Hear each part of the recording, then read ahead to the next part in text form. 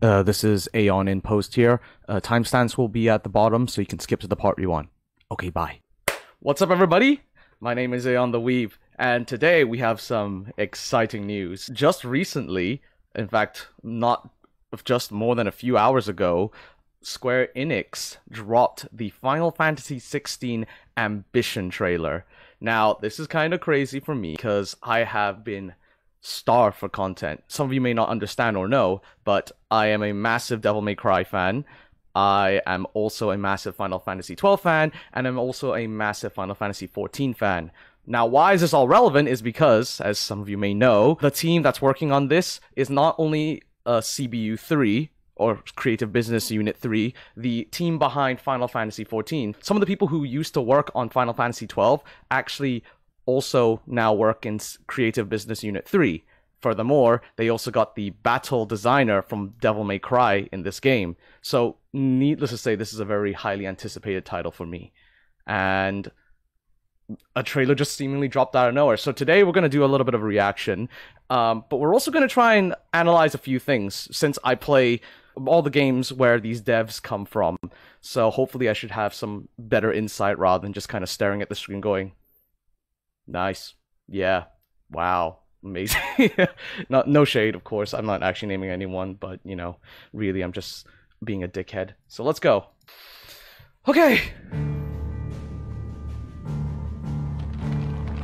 It has been 1500 years since the fall of our forebears. We love the maps. We love the maps. Eorzea. And Valisthea.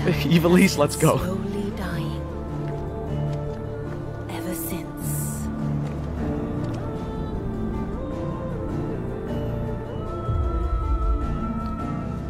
Square Enix. And Creative Business Unit 3, my boys. But we're in the middle of the Deadlands. The blight sucked this place dry. Meaning no trees, no birds, and no magic. Darkness spreads as day gives way to twilight. The mother's flame now all but a flicker. We cannot live without the blessing of the crystals. Right. And the crystals work their magic through us. You have been blessed, Joshua. If I recall, the crystals are the antagonists here. A bit of a subversion from the usual Final Fantasy trope. Bastion of tradition. At the very least, we must secure Drake's breath. The holy empire of Sanbreque. Cool. Where ambition is divine. So we're doing a lot of world building Imperial here. banner shall fly over every city describing in each nation. This is the Empire faction, and it's an interesting uh, thing because The they seem to be mixing a theocracy with the Empire, something that's not typically done. And what of our wives? Dollar store Ul'dah. No, I'm joking. without any thought as to what chaos it might reap. The Iron Kingdom, forged in faith and fear. Their souls were sullied with the stain of ether. I We're, we're back to Ether again. Are you kidding me? Or the Kingdom of Waloed, indomitable in its isolation. The dark swallows more of the realm Oh. with each passing oh, oh my. Oh As the my. fringes fade, Holy shit! It's fucking Asians again! From a single no, kidding. I'm kidding. Let's go. Will the land ignite? I promise, like, after this, I'll actually listen. In the year 860, Okay, this is a very story-heavy, like, tri- Ooh, okay, so now we know what happens. Jeez. Hey, okay! Decapitation! That's cool. That, that seriously, the, the, the hoodie is like, what the fuck is this? and Walker. Also, wait, hold on. I'm so sorry. It says HD, but I swear to God, what is the bit rate on this? Okay, I'm gonna, I, I'm, pro- I, I'm, I'm gonna stop. I'm gonna stop. The bit rate looks crunchy as all fucking hell. That's why. Fall upon the dominants, painting their destinies black as night. A lot more context now for like what's what the other trailer was. Summon beasts of great might should command respect, but instead has left us outcasts. Uh huh. So I became their puppet. Right. What makes them think they have the right to use us? To leave us to die when our bodies are spent. I'll crush him! Okay. So they cut, they tax the user quite a lot. when you when going into their iconic forms. Very cool, very nice. Oh shit, that's Shiva. I like these like uh, demi-human forms. They're really sick. Oh, there we go. Some gameplay. Let's go. And the bitrate's dead because it's. Thank you, GameSpot. Gee, ooh, that looked fun. Uh, you can definitely see the Final Fantasy XIV like raid design in here a little bit. Christ, that's loud. Big explosions. We love big explosions. Who shall bow to me? Very well. Come then. Oh, that must be Odin. The strength of your will. That's really cool. Rise, ye crownless kings. A reckoning is upon you. A war of the icons. The War of the Icons. I love that. That's sick. That's really sick. Also, I was gonna say, man, this really reminds me of uh, Elden Ring. And then they went, uh, summer 2033. That yeah, that's a yeah, one year away. That's pretty much expected, right? I was gonna say this sounded a lot like Elden Ring, and then they said. Come, rise, ye tarn. I mean, rise, ye. Icon. Wait, what did they say? Rise, ye crownless kings. Rise, crownless kings, and become Elden Lord.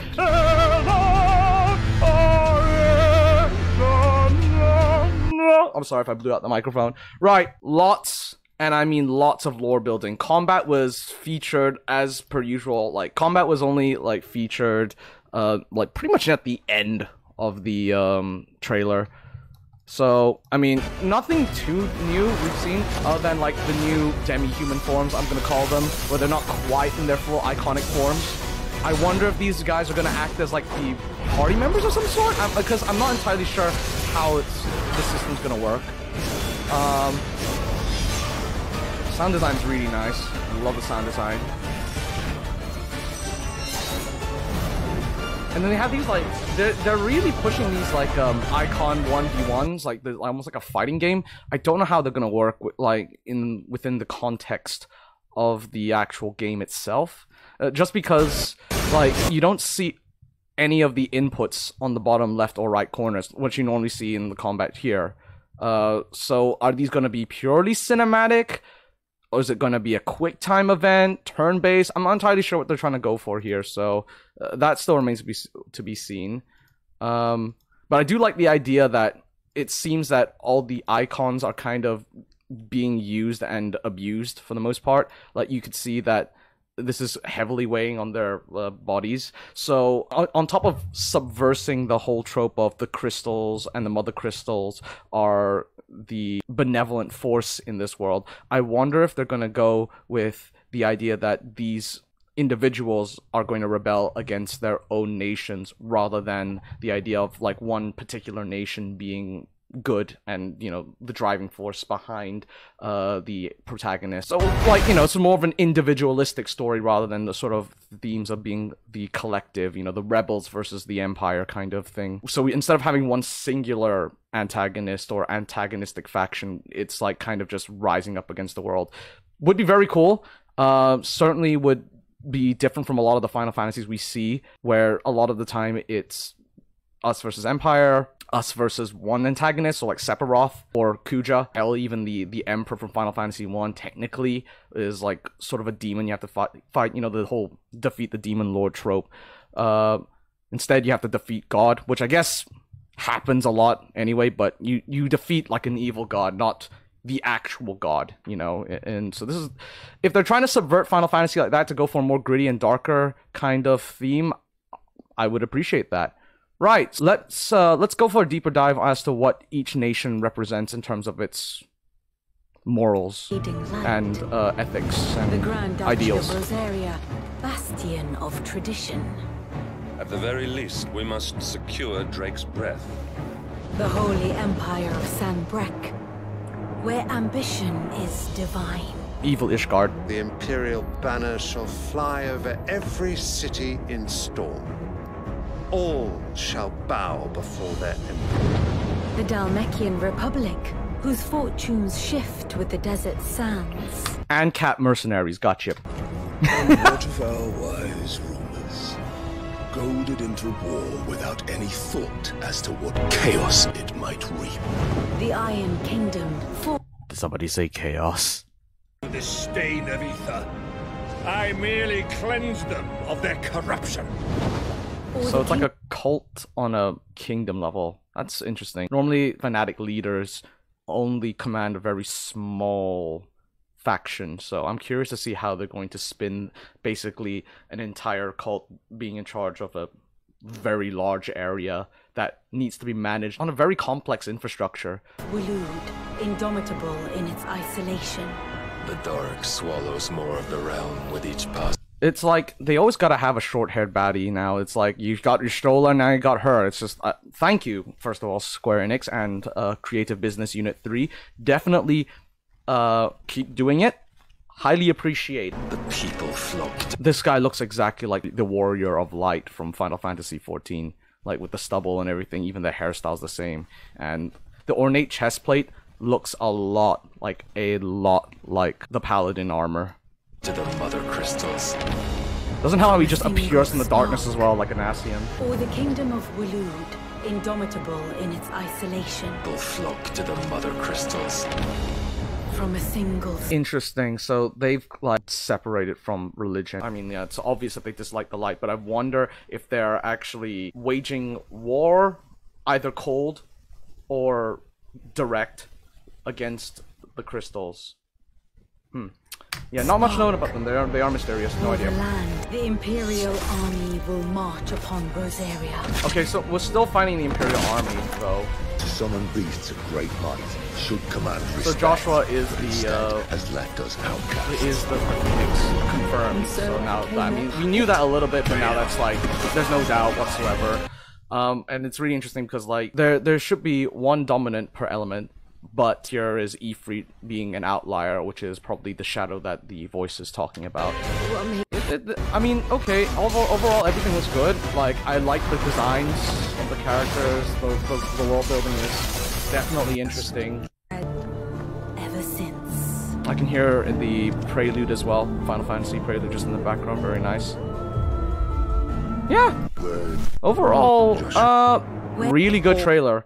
I mean, I think it's like most people would like to see more gameplay, but quite frankly, I'm actually thankful that they're giving a lot more context as to what the world is about, because a lot of the details have been rather vague about Final Fantasy 16. So now we have a little bit more clarity as to the setting of the world, and now we can ask more focused questions like are these factions despite standing against the empire truly going to stand as one united front or is this going to be as the voiceover says a more all-out war between several different factions vying for supremacy especially since all their uh, values and their ideologies differ greatly from each other? One's more about tradition religion the other there's literally another one that like completely denounces it and seems to be uh, antagonistic towards it.